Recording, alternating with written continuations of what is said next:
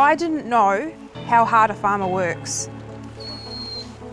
I didn't understand the extents a farmer will go to to keep their stock safe. All farmers do it, oh, yeah, I'm just a beef farmer, I'm just a dairy farmer, but the most amazing business people I have met are farmers. They are incredible. You need a plumber, you need an electrician, you've got a farmer, they'll do it all. It's just looking after animals on a large scale. Anyone can be. I'm. And I'm Monique, and we're sheep and beef farming with our family in Tokirima.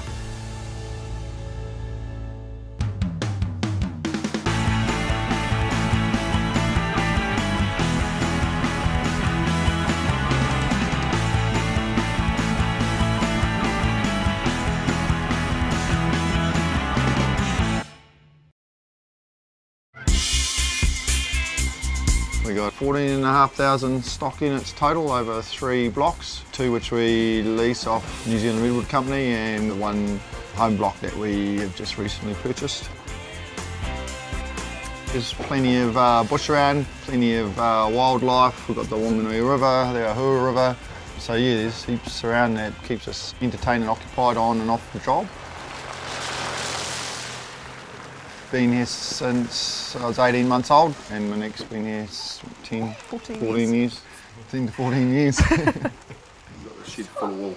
We brought the stock of Tim's parents three years ago. And we've been leasing the property for three years, and then we took the plunge into buying it, which was exciting.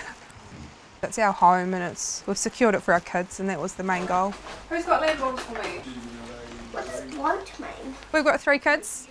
They are not scared of getting dirty. They'll go run around in the mud. Done.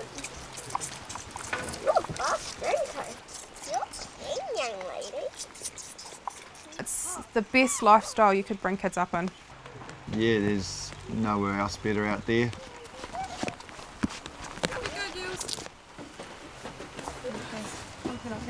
The attributes of wool are incredible. It's fire retardant. What else would you want to wrap your babies in uh, than a wool blanket? If you're cold, it will warm you up, but if you're hot, it will keep you regulated. It's a carbon store. It's um, yeah, insulation in houses too. There's so many things you can do with it. What does it smell like? Smells like sheepy. I know that to buy wool is a luxury item. Not everyone can afford to have it a shouldn't wool be a luxury item. item, to it buy shouldn't when be a they're luxury item. selling it for two bucks a kilo. Exactly. It's tough for everyone in the industry. Lot of people have asked us how we live and work together.